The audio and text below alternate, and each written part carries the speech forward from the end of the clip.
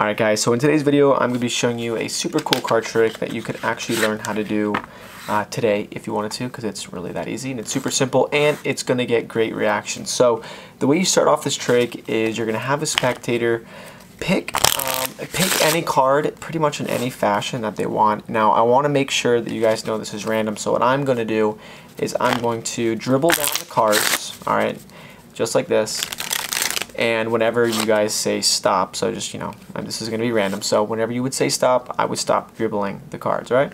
So let's say right around there you want me to stop dribbling the cards. I'm going to show you guys the card, not me.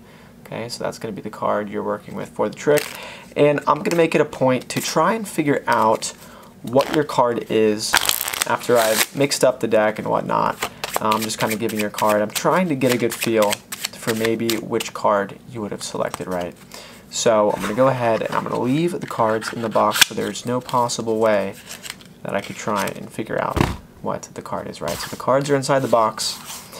And I'm just going to go out on a whim here, okay? Out of 52 cards, a shuffled pack, you picked any card.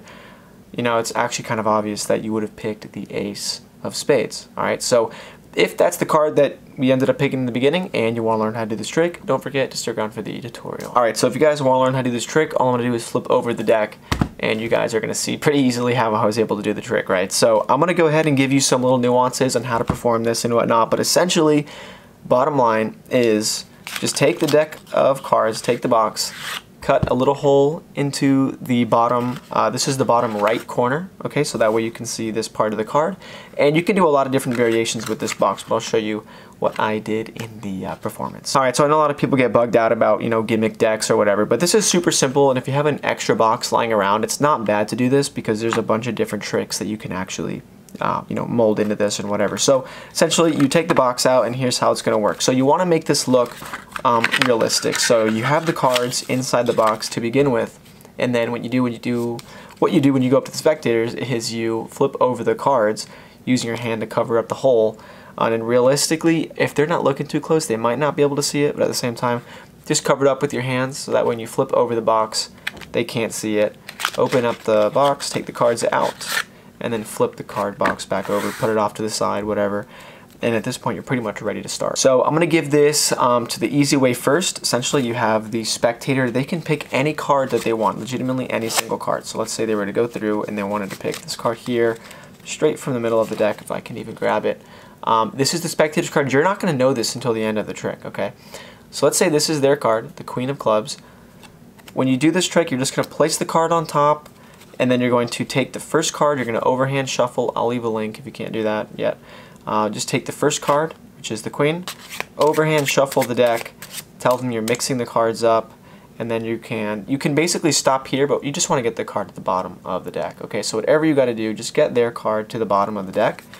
And then if you also want to, you can do a bottom retention where you hold on to the bottom cards with your three fingers on the bottom here while you do the overhand shuffle and that's going to allow you to hold that bottom card on the bottom of the deck as you overhand shuffle the cards, right?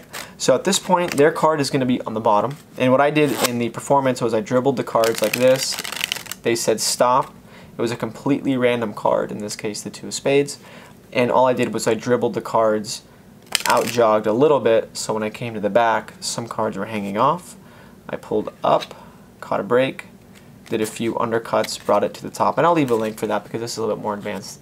Um, you bring that card to the top, and then boom, same process. One card, shuffle it to the bottom, and then do a bottom retention. Now their card is on the bottom of the deck. All right, so now that you've heard me ramble about getting the card to the bottom, that's all you really have to do. You pick the box up again, and you just want to make sure that the faces are going to be visible when you put the cards in. So you just put the cards back into the box, okay? You have your fingers closed, flip over the box, cover it with your hands so the spectator can't see what's going on here. Shut the box, angle it towards you, boom. Just like, you know, just like magic, you can see the two of spades, whatever card they got right there in the bottom. The spectator doesn't need to know this. You're just gonna put the box here, okay? You don't want them to touch whatever. Okay, but now you know the card. All right, so it's super simple. You cut the box open, whatever pitter patter you want to make up as you talk is up to you, but I just kind of gave you guys a couple ideas of how to go about doing this, but um, I think it's pretty neat. I never, you know, I have another deck which I've cut into that I did something a lot different with, but this was actually a pretty cool. Um, little idea. So I hope you guys enjoyed the video, and as always, thanks for watching.